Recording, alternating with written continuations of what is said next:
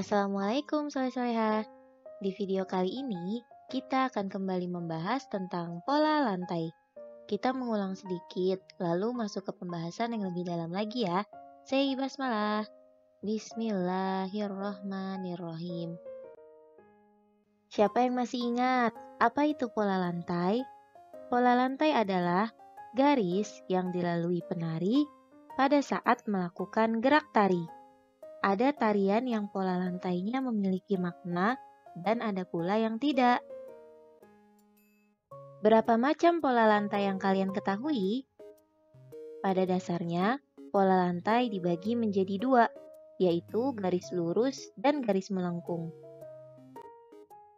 Pola garis lurus dasar terbagi menjadi tiga, yaitu garis lurus horizontal, vertikal, dan diagonal. Lalu, hasil pengembangannya, pola lantai garis lurus dapat membentuk zigzag,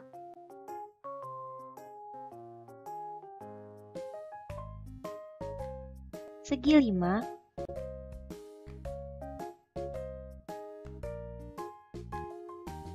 segi empat,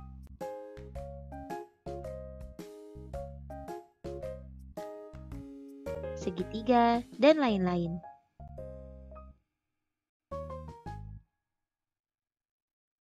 Sebagai contoh, seperti yang kalian tahu, tari saman menggunakan pola lantai garis lurus horizontal. Namun, seiring berkembangnya zaman, pola lantai pada tari saman tidak hanya garis lurus horizontal, tetapi dapat dikembangkan menjadi pola lantai zigzag ataupun pola lantai diagonal menyilang. Selanjutnya, pada pola lantai garis melengkung, pola lantainya dapat membentuk lingkaran dan setengah lingkaran. Pola lantai garis melengkung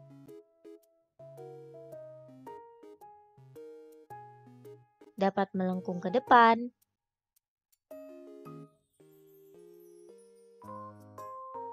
ke belakang,